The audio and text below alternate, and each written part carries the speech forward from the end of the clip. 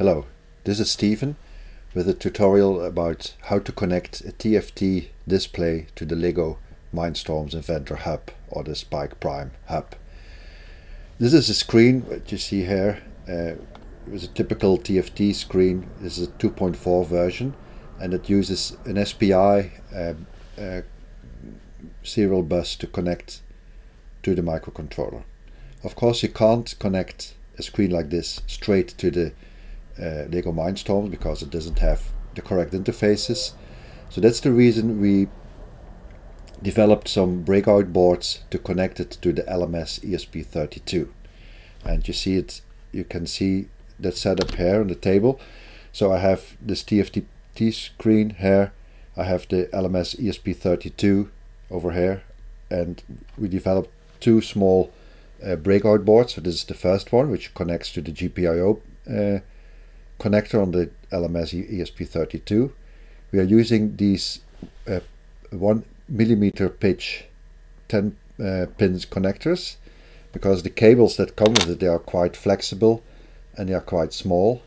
If you would connect it with the with like DuPont cables you would end up with a very thick mass of cable.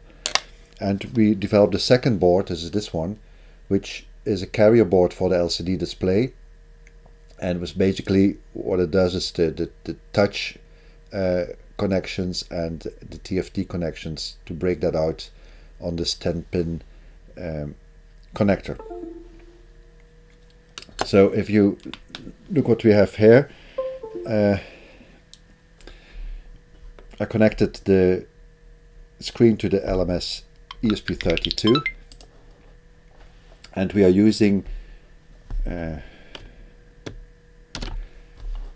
So we are, this is the pinout of the LMS ESP32 and we are using these ports in this corner uh, to connect the TFT display. We don't use the, the, these three pins, the 33, 32 and 27, to use all the other ones.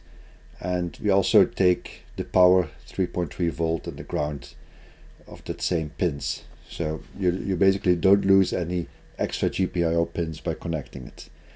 Now, uh, driving an, a TFT screen like this is quite cumbersome if you have to draw all the, the, the things from a GUI yourself. So if you have to draw your own lines and rectangles and text, it's quite cumbersome to, to make a GUI. And that's the reason that we uh, looked to the LVG, LVGL, so that's a light and versatile graphics library. So it's a library which runs on multiple microcontrollers also on ESP32. And moreover, it also uh, is, is, has been ported to MicroPython. So you can use it from a MicroPython environment. You can use all the, the, the library's um, possibilities, capabilities. So just to get an impression, uh, you have like uh, the widgets. So for instance, uh, a button widget. That's the, the so the, these are examples which now run in the browser. But eventually of course will run on display. So in this uh, documentation you have also the MicroPython code. You have even a simulator. So you can simulate before you implement it on your own on the board you can simulate it here. So if I so now it's being simulated so I could change something here uh, demo run it again and you will see that it it changes immediately. So you, for developing things this is very nice to do. And of course we can um, use this code on the ESP32 so I started Thonny that's the the interactive uh, MicroPython IDE and what we have to do first is to initialize the display and the touch. And this is a, a code which you don't have to, uh, you can use it as is. You, you don't have to make any changes to this for this particular display. The uh, What it does is it uses the, the PS RAM, so that's uh, uh, an extra amount of 4 megabyte of RAM, which is connected to this to the SPI bus to buffer the frame uh, the frames of this display. And that's also the reason if you would uh, execute this twice without rebooting, you will get some memory errors. So every time you initialize a display, you should reboot the uh, you should reboot the uh, the LMS ESP32. So what we can do is just start this on on the LMS ESP32. I copy this here, and now I've initialized the screen, and you won't see.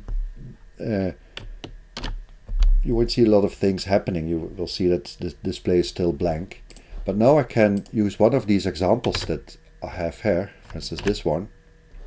So I could go back to the documentation page here and I could look at the MicroPython code and I could paste this into my uh, so I do make a new one so I could just paste this. And you will see oh, there's some error. Okay so this is not supported. It, it depends because uh, this LVGL it has several versions and not all the versions have exactly the same options. So probably uh, by doing this it will be okay. So if you now look a little bit more in detail you can see that I have now two buttons on the display.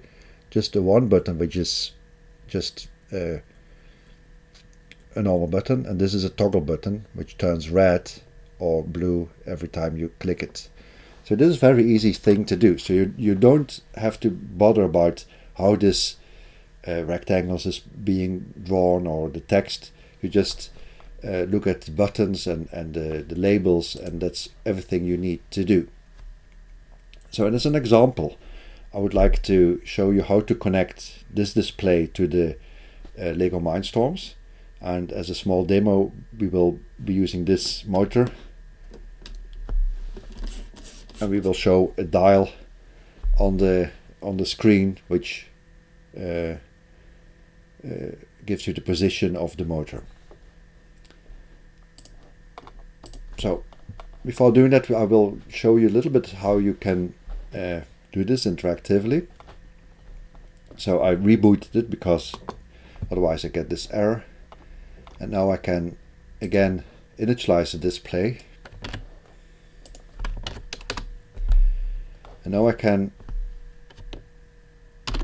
I'll show you uh, the, the program. Now I can draw an arc.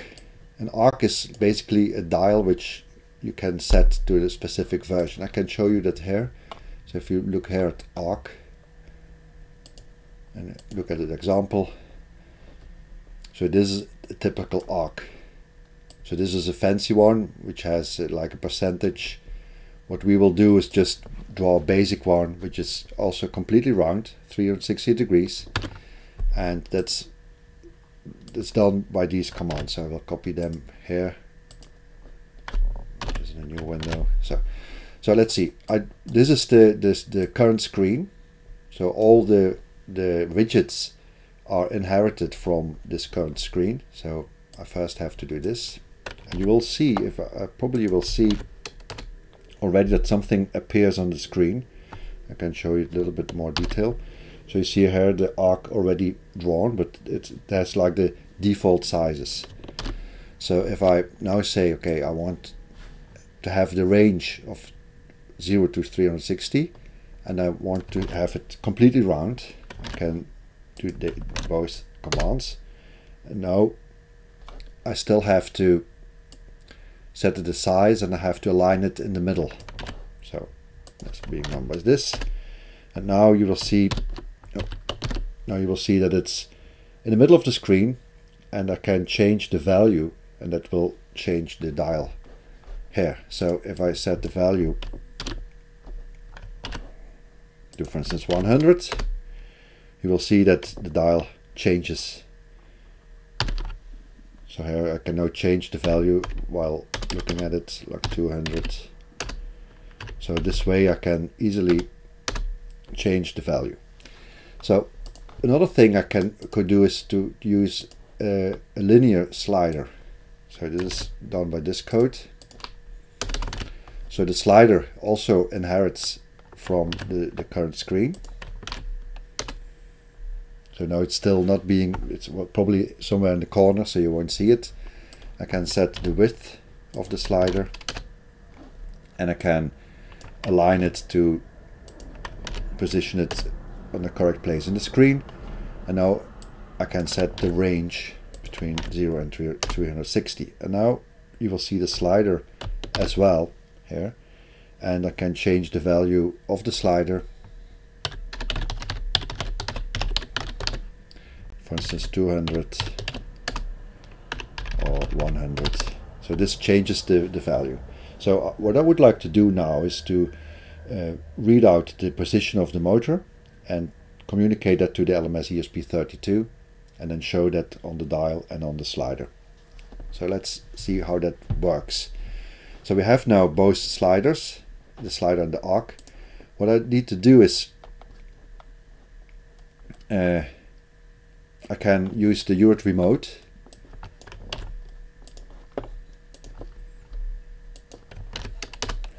Like this.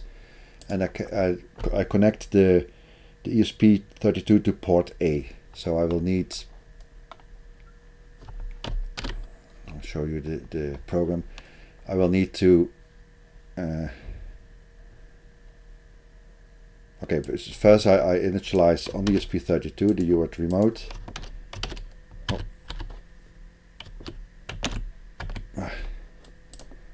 copying doesn't work properly so like this. And now I can make like a, a function that sets the value of the arc and sets the value of the slider depending on the angle I give it. So we can try that.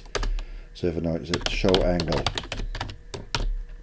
100 you will see that that both the indicators change okay so now I can add that this command to the UART remote and start a loop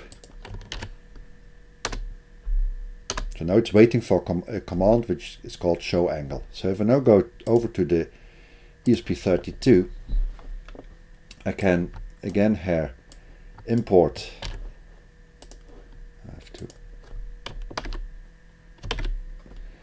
import the UART remote library like this, and now I can initialize it on port A.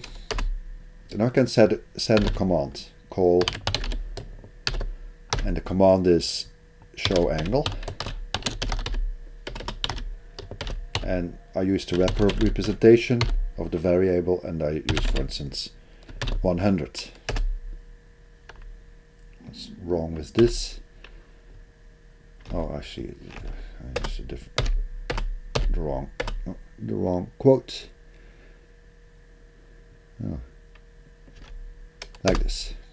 So now if I zoom in a little bit on the table, you will see that if I use different val different values here, so 0, 50, I can uh, define the, the position from the, uh, uh, the Lego hub. So now I make a small program. So this is the program on the hub. So I, I initialize the UART remote, I initialize a motor, motor B, that's the motor which is connected. I set it to absolute position and I can read out the motor uh, position and this M value will be sent to the uh, to the UART remote callback function. So if I if I use this program so now it's waiting for me to to so I will zoom in on the table again So if I now turn this this motor, you will see that the